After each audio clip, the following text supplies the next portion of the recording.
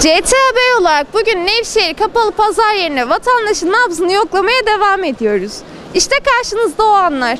Pandemi süreci sizleri nasıl etkiledi? Zorluklar var mı? Pek zorluğu yok bana göre. Bana göre pek zorluğu yok. Evet. Ekonomi nasıl etkilendi? Vallahi onlar pek anlamam ben ya. Peki bu süreci evde nasıl geçiriyorsunuz? Sağlığımız için evde geçiniyor. Yok desem herkes mesela sağlığını e, kurtarmak istemiyor. Çarşıda bazda geziyor, virüse yakalanıyor. Ama ben burada bak şimdi araba bekliyorum, geldim hemen gideceğim. Evde neler yapıyorsunuz kısıtlamalarda? Evde ne olsun, Kur'an okuyorum. Çocuklarla sohbet ederim. E, onu öyle şey yaparım. Yani ekseri sohbet işi yaparız. Ama ayrı ayrı oturduk böyle aramız yine mesafeli şöyle. Pandemi süreci sizleri nasıl etkiledi? Zorluklar var mı? Vallahi bize göre yok. Biz evde oturuyoruz. Şimdi bir ihtiyaç için çıktık pazarımıza. Bize göre bir şey yok. Evin içinde oturuyor. Ekonomi nasıl etkilendi sizce? Bize hiç de etkilemedi. Biz iki kişilik amcanla e, de kendi başımıza, kendi yağımızdan kendimiz kavruluyor. Ama olmayanlara Allah yardım etsin. Kısıtlamalarda neler yapıyorsunuz? Vallahi evin içinde biz oturuyoruz, namazımızı kılıyor, Kur'an'ımızı okuyoruz. Bir yere çıktığımız yok. Misafir de gelmiyor, misafirliğe de gitmiyoruz. Öyle işte. Hapisten fark yok yani. Evde, evde biz ibadetimizle meşgul oluyoruz, Kur'an'ımızla. Bu yalnız bu yaştan sonra biz ne yapacağız?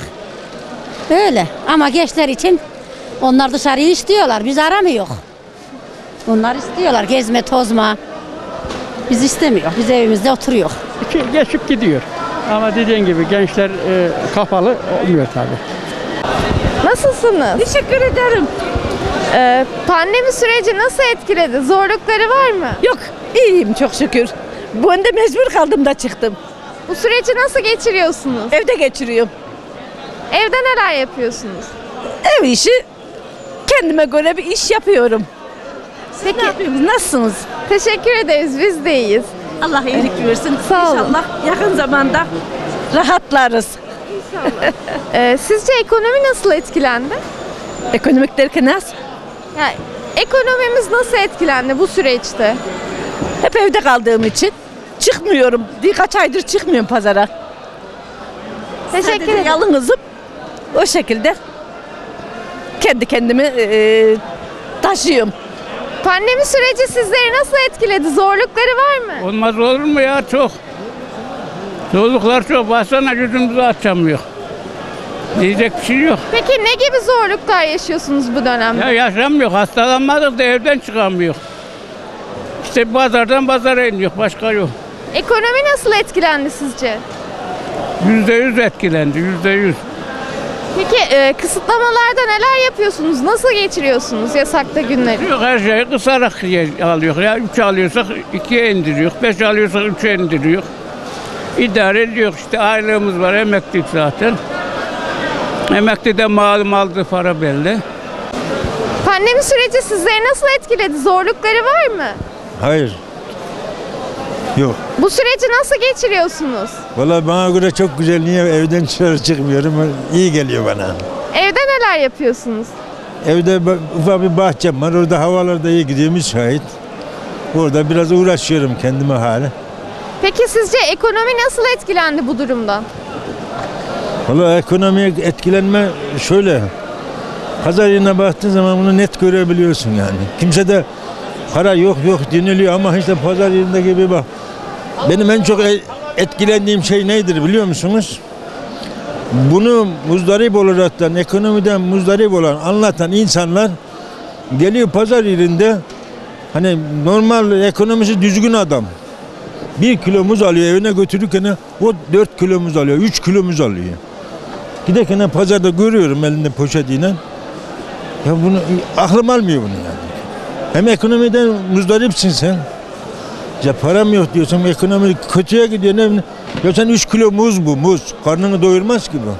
Hani bir tane al, iki tane al. Hadi çoluk çocuğum var ona şey yap. Hadi birer tane al. Hadi ikişer tane al. Ya 3 kilo 4 kilo muz alıyor bu. Hani düşünüyorum acaba bunların aileleri hep mi kalabalık? Hep mi kalabalık ailede 4 kilomuz birer tane anca mı düşüyor? O aklıma geliyor fakat değil. Kimseye yaranamaz. Bu gerçek. Yıllar yılı geçecek. Senin babandan, dedenden, benim babamdan, dedemden kime iyilik yaptıysa insanlar muhakkak kötülüğünü görecek. Pandemi süreci sizleri nasıl etkiledi? Zorluklar var mı? Zorluk tabii olmaz olur mu? Diyelim evin içindeyiz. Bir yere çıkamıyoruz. Bir de aslım hastasıyım. Mecbur kaldım dışarıya çıkmıyor ben. Bu nasıl süre olacak onu bilmiyorum. Bu süreci nasıl değerlendiriyorsunuz? Maskeyle değerlendiriyor. Başka bir geri duruyoruz. Mesafe koyuyoruz. Temizlik yapıyoruz. Bundan geri duruyoruz.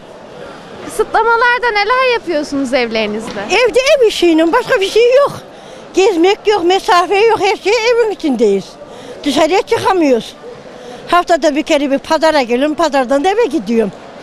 Dolmuşa dahi bilmiyorum hiç. Mesafe için. Peki sizce ekonomi bu durumdan nasıl etkilendi? Çok zor. Çok zor. Askeri ücretini getirmek çok zor. Çok yani Nevşehir'imizde acılarımız var. Çok kuzum çok ama bu nasıl olur bilmiyor. Nasıl çözülecek, nasıl idilecek o da belli değil. Boşananlarımız da çok. Maddi durum hiç olmayanlar da var. Sıkıntı çekenler de var. Bilmiyoruz. İnşallah Allah önümüzde sonumuzda hayır getirse. İyi günlere geçsin kurban olduğum Allah'ım.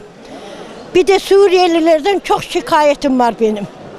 Suriyelilerden, Iraklılardan, bizim bina tüm ondan inan ki evi satasımız geliyor.